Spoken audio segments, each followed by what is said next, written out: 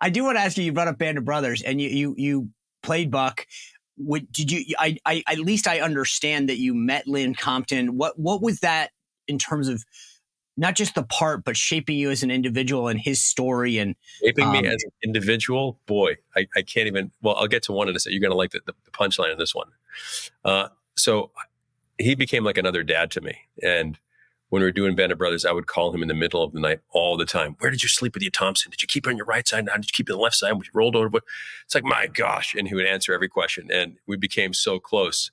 Uh, and what he did as an American to do what he did in World War II, then to become a police officer, and then to put himself through law school, and then become the chief prosecuting attorney against Sirhan Sirhan and Manson, and then to start his own conservative talk radio show in Washington, Washington State. He's he, was just an incredible guy to have in my life and, and a guiding factor also. And in fact, he would always tell me, Neal, come on, you got to come out of the political closet and tell everyone you're Republican. I'm like, I can't, Buck. I, I, can't, I can't do that. That, that. That'd be hard in Hollywood.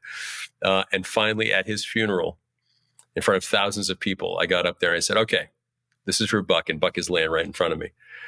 I said, it's going to sound like an AA meeting, but here it goes. Hi, I'm Neal McDonough, and I'm a Republican and the place just lost their mind. I could feel Buck shaking in his casket uh, with with pride that I finally let it out of my system. And uh, you know, everyone knows how I feel about all kind, you know, life and and and God, and and how I'm kind of conservative on certain things and not so conservative on on other things. But uh, Buck, between my father coming over from Ireland and, and becoming an American citizen by going into the army, uh, and with Buck Compton, those are two guys that really pressed and look, you can say Republican, Democrat, whatever you, whatever you are.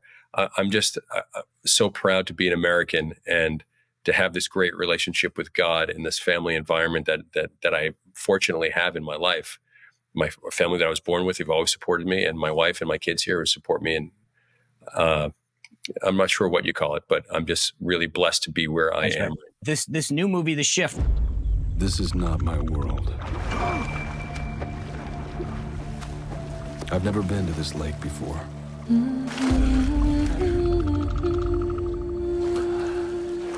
Never walked its shores. But I will find my way back. And I will find my way back to my Molly. Five years ago, I was left in this dark place. Taken from my wife. People here have no hope. There is so much evil and inhumanity in this world. But there is also beauty and hope, and I will find my way back to her. I, let, let me just ask this because I'm I'm I'm half want to talk about the movie, but also your role. Like when I was rolling the credits, there you were, executive producer at the top what what is this your first rodeo as an executive producer? What did that what what did that entail for you versus starring in a movie? No, we we started with Greater uh, several years back, and that, and that was that was such a fantastic film and, and to be part of, and it's done so well as times progressed. I mean, like crazy, crazy well. And then I knew, okay, I'm I'm good at pulling in talent. And then a few years back, we did a movie called Redstone, uh, that I helped executive produce. And then halfway through filming it, I went to the writer Derek Presley and I said, "Let's let's go write part two to this." and make it bigger. The first film we shot was for half a million dollars. And then Ruvé, my wife, went out and raised the 1.5 to do Boon. And then we went off and raised money to do another film, and then another film, and then another film. And now we've got the last rodeo that we're about to start that Jon Avnet is going to direct. He did Fried Green Tomatoes, amongst other amazing projects. And now we're up to $8 million on, on uh, our budgets. So we, we, we keep on building. This is our fifth movie now, and we have a TV series set up at, at, at Amblin uh, through Steven Spielberg's company. So people, it's, it's funny that how people are finally really listening to what Ruvé and I have to say because the films we've made so far have all made money and they're right. all have great messages and people really like them. So Unity, this company that came to us, said, "We know what you're doing, and we want to be part of it. We have 300 million dollars in a film fund. What do you got?" I said, "Well, I'm just finished writing the script and I'll give it to you next week. And they read it and they said, this is what we're going to start out with. And that's the shift. Is that? No, no, that's, this is, um, the last rodeo. Okay. Uh, which we so shot. What, what, what got you, what got you the, the, what, what made you want to do the shift and, and what, what was the message that drew you into that? Well, so then when it came to the shift, I, I really like being an executive producer on projects because I can bring in better talent or I can help Okay. say, hey, come in this thing with me or find a better director or find a whatever the case is. And really kind of start to build a family when we get to set. Like the first day on set, I'm always there saying a, a prayer with with the whole crew. Or every Monday morning, you know, the first prayer is coming, or Friday afternoon, another prayer is coming. And always just kind of remind us where we are in, in the environment, how fortunate we are to be doing the things that we love to do. And we get to do it to give glory to God at the same time. Man, it's awesome. So when the shift came, it was the same kind of thing. I said, okay, we'll we'll, we'll do this, but I, I want to make sure that I can help with the casting and, and bring in ideas like you know like Sean Astin or other people and um, and really kind of make the best project possible. Because I'm a worker horse, I'm a lunch pail guy. I want to make sure that I'm the first one there and the last one to leave, and it works. And Ruvé's the same way. So when we had the opportunity to do this and start our relationship with Angel Studios, I didn't realize the blessing that it was going to be. And now we have a Oh, yeah. first look deal with Angel. Uh, Black Spartans, this football film we just did, we're probably going to go uh, run it through Angel. Um, the last rodeo will go through Angel Studios. Uh, Wicked and the Righteous, this this western that we just wrote that uh, Jim Caviezel's interested in playing. Uh, my evil brother, it's Cain and Abel in the West. So we've got all these great things going down the pipeline, and it's all funneling through Unity for financing and uh, Angel Studios for distribution. And I, I could not possibly, if I don't work for anyone else for the rest of my life except for my wife and Angel Studios in Unity, and I get to turn out a movie a year, I'm the happiest to get. I'm I'm Malpaso. I'm Clint Eastwood. I get to do these. Angel Studios guys, uh, I've talked to them a bunch. The Chosen, Sound of Freedom. I mean, listen, I'm with you. If I had to go bet on anybody right now, that's where my money's going.